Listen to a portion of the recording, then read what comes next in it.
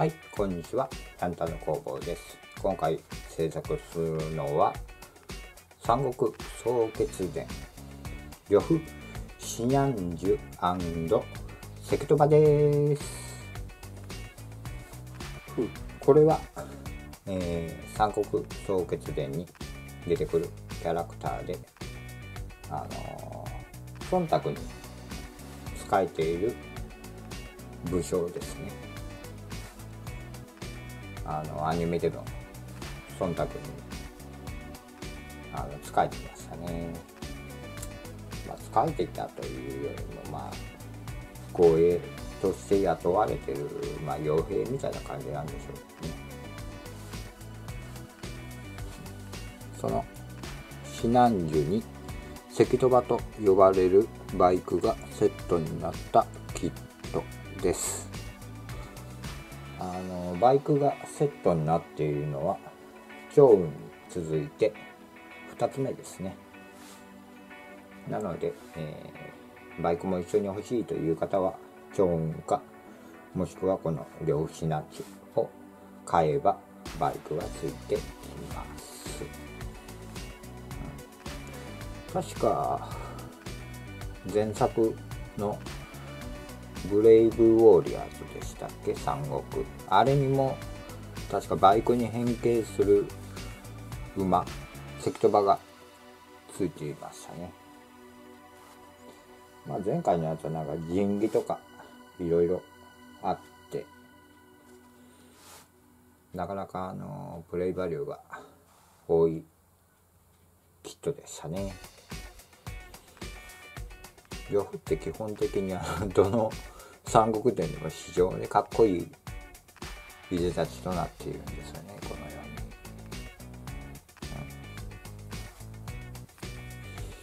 に、うん。でパッケージですね。関戸場と呂布知らず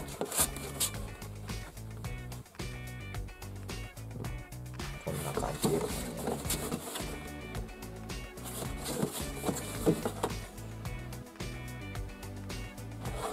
ちなみにここへ。ちょっと見えにくいか。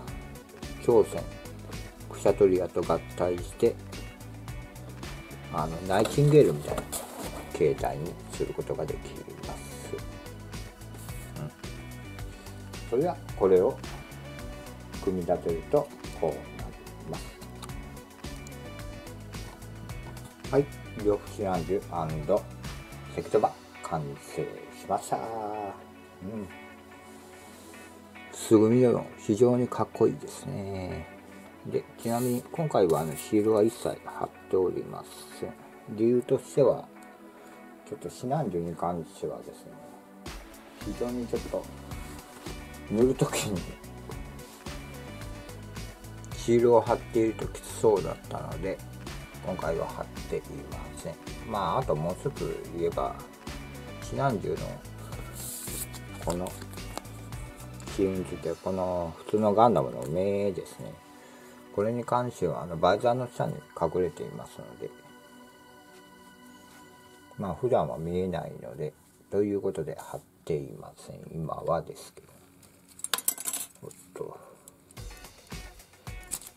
ちなみにですね。よいしょ。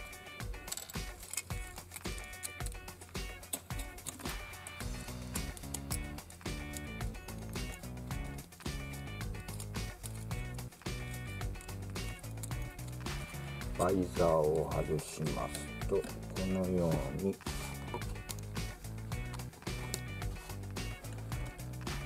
ガンダムフェイスの素顔が出てきます。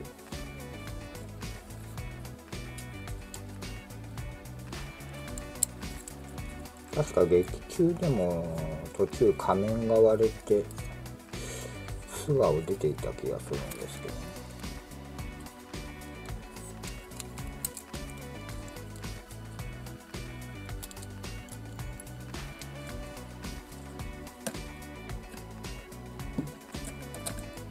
私は紫の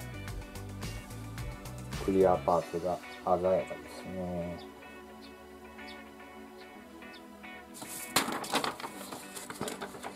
で武器なんですけれども武器は4種類付属しています。まずはこの同じ形状をした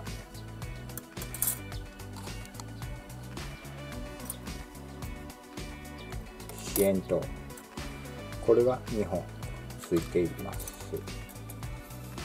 でさらにこの斧っぽ斧っぽい武器法天線部と呼ばれる斧ですねがついています。であともう一つ。これが大画劇という槍なのかな剣なのかながついています。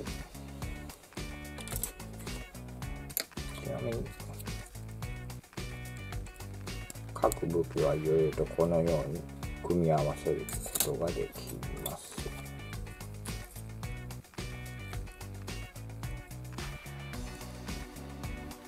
こんな感じとか。まあいろいろな組み合わせができます。ちなみにですねまあ組み合わせとしてはまあこれですね名前が確か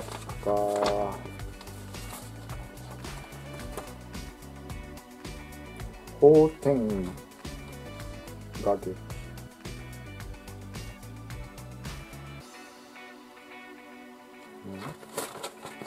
もともとのある名前が法天画あ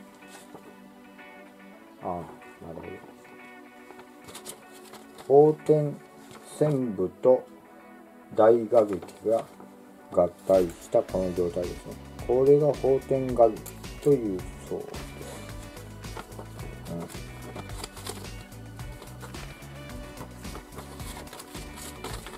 うん、劇中では何々となったからね。であとは、まあ、先ほどやりまし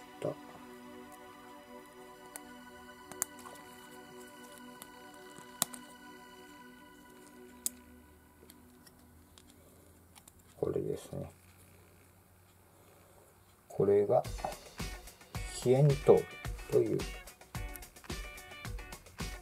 武器になります。あとはですねこの2つを合体させますとこのような婚姻支援球と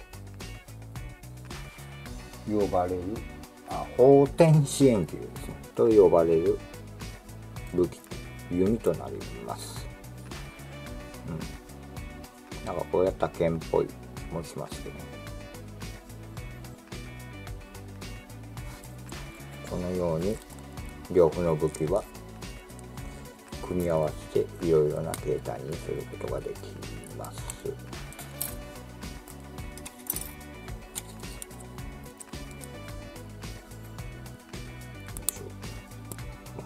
この組み合わせとかですね全塗装したらちゃんと組み合わせできるようになるのかちょっと怖いですね。であとですねここのポッチを使ってこのように全武器を装備させることができますでえー、とこの呂布ですね。呂布に関してもメモリがついています。そのメモリはですね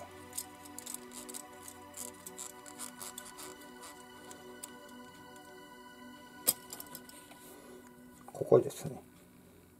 ここ。ここへですね。よいしょ。トータスメモリというメモリが付属しています。なのでこのリアーマンこれ自体がどうやらデバイスみたいです。まあ2スロットあるので2つ装備させることができます。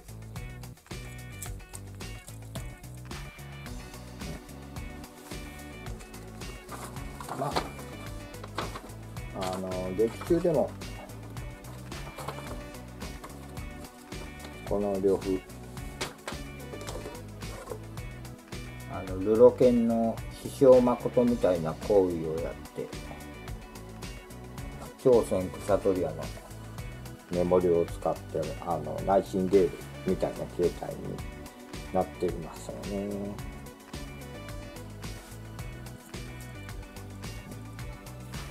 まあ、両風に関してはこんなとこですね。で、次。赤土バスですね。これ。まあ、あの、ヒールを貼らなかったら相変わらずの一色なんですけれども、このような感じで、かなりごついバイクとなっております。ちなみに、朝鮮のバイクと並べるとこうなります。はい。朝鮮の壁流区と並べてみました。まるっきり、ベースのあの、トリニティバイクの部分は同じなんですけれども、まるっきり形が違いますね。このような感じで。どこから見ても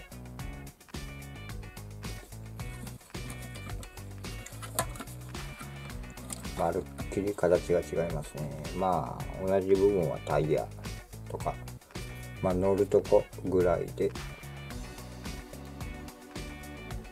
まあパーツの位置が違うだけとかそういうのもありますけれども碧龍区はここで竜の顔っぽい章がついていて石とばはここで馬っぽいのがついていたりと。結構違いがあります。それであ、ちなみにあの、石とばですね。石とば、ここへ。よいしょ。専用メモリの、石とばメモリがついています。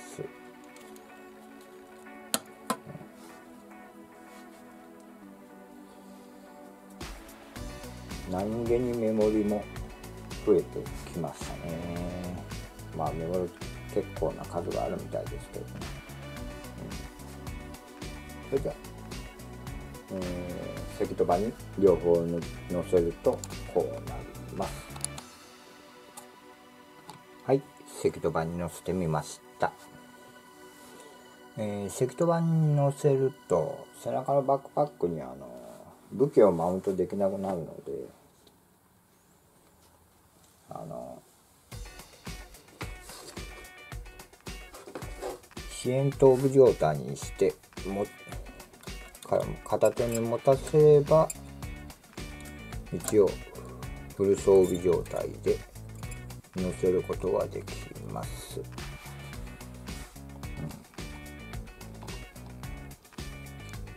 うん、いや今日はただただ乗っていただけですけれどもあの呂布に関しては呂布の頭についてたこれですね。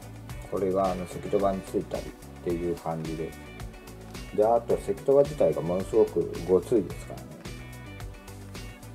ものすごくごつい登場姿ですね。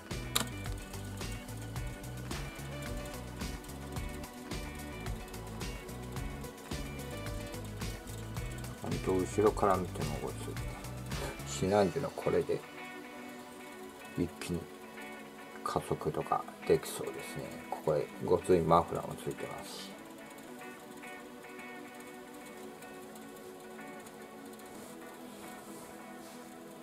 まあ壁流区もそうですけれどもこの石とばに関してもまあバイクっぽい感じでまあオリジナル色で塗っても楽しいと思いますね。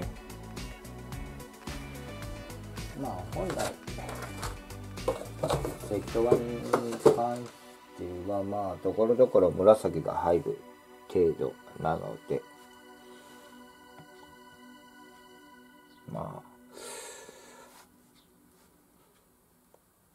本当にあの普通のバイクみたいにいろんなところを塗り分けてもかっこいいとは思います。自分はどうしようかなと今迷っています。それから今自分が一番迷っているのはこのクリアパーツを何色にするかっていう話なんですよね。メタリックパーポーってあるんですかね。メタリックな紫って。自分はあの紫系の色を買ったことがないのでよくわかんないんですよね。これを塗る段階になったらちょっと調べますけれどもまあなかったら普通の紫で塗るかもしれません。それとも本当両風ごついですね。前回のブレイブウォーリアの時もごつかったですけど。前回のブレイブウォーリアの呂布に呂布の神器は確か玄武でしたかね。今回この三国総決伝そういう銀利系はないんですよね。まあ多分その代わりがメモリなんでしょうけどね。メモリまあ各陣営のメモリでまあその各陣営の代表とかがパワーアップするっていう感じですよね。まあ劉備曹操に関してもそれぞれの陣営の部長のパーツと合体させパワーアップ形態っていうのができるみたいですね。まあ自分はまだ今劉備に関しては食エリアは現在組み立ててないのを含めるとまだあと12種類ぐらい足りないのかな。曹操に関しては結構足りませんね。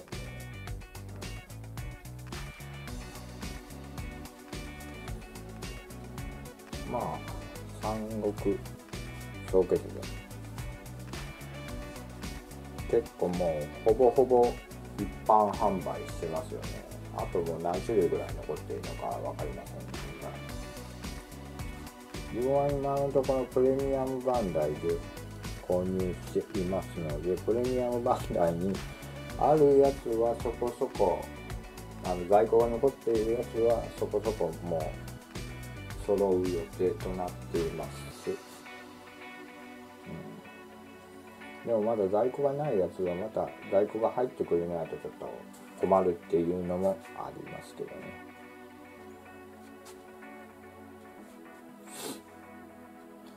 ということで今回の動画は三国総決伝呂布指南樹適度場のレビュー動画でした。チャンネル登録高評価コメント等をよろしくお願いします。にゃんたの工房でした。